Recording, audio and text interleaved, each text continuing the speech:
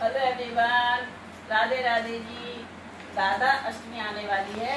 इसके उपलक्ष्य में हम राधा जी का एक बहुत ही सुंदर प्यारा सा भजन आपको सुनाएँगे। आप लोग सुनिए। ये भजन मेरे चैनल भक्ति कथाओं पर आपको मिलेगा। और मेरे चैनल को सुनने के लिए आपको लाइक शेयर सब्सक्राइब तो करना पड़ेगा। तभी तो आप नए नए भजन सुनेंगे और और बेल आइकॉन को दबाएँ जिससे कि जितनी मेरी वीडियो ना, वो आपको तुरंत पता चल जाएगी। Thank you very much